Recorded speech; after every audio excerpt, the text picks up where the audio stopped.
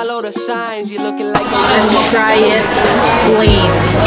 The right noise, hoping that you like. And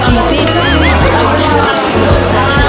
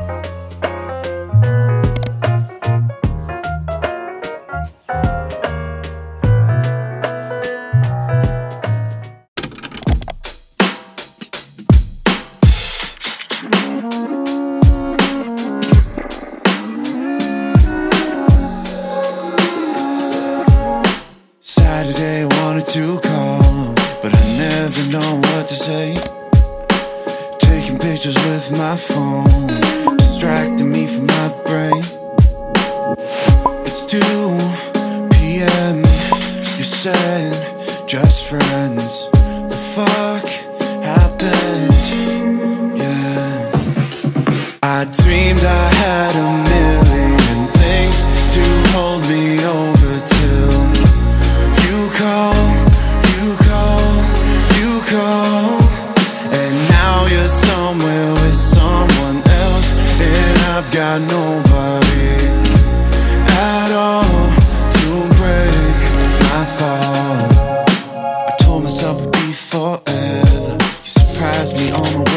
Now you're keeping me on my toes, saying you're no way.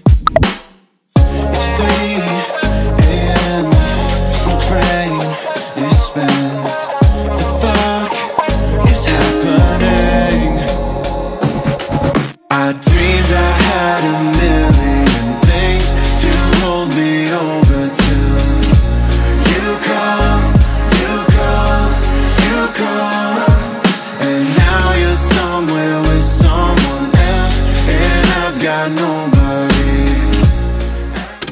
Hi guys! So today, I'll show you lahat ng binili namin from Greenbelt nung weekend. Dito masyadong madami, so we'll go through this very fast lang. So from RJ Guitar Center, I got two things. So diba last week or the week before the last ata, um, I bought an electric guitar and gusto ko ng mas metal na sound, so I bought an effects pedal.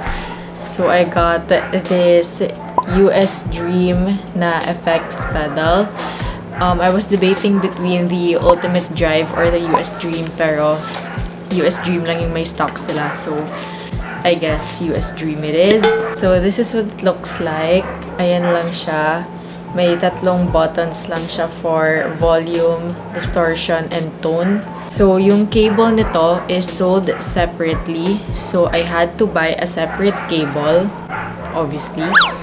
So I got this RJ Basics high quality 18.5 feet na cable.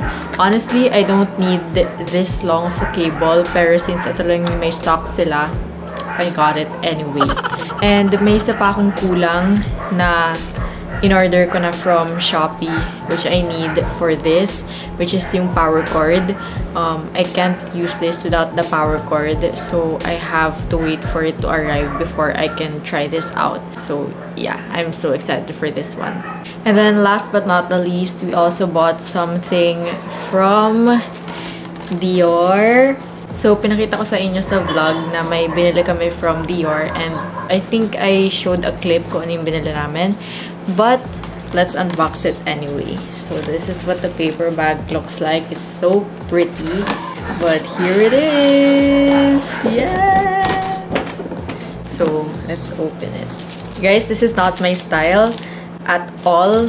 Pero, super nagandahan ko siya. So, it's... Guys, it's so freaking pretty. It's basically a nude or beige slingback na sandals. And if you know the black version of this, ito siya. Um, that's so nice too, but I think yung beige is a lot more sophisticated and classy. So, we got the beige one. That's it for the haul and this is also the end of the vlog. So if you guys like it, please don't forget to hit the like button and click the subscribe button down below. And yeah, thanks for watching and I'll see you guys in my next vlog. Bye!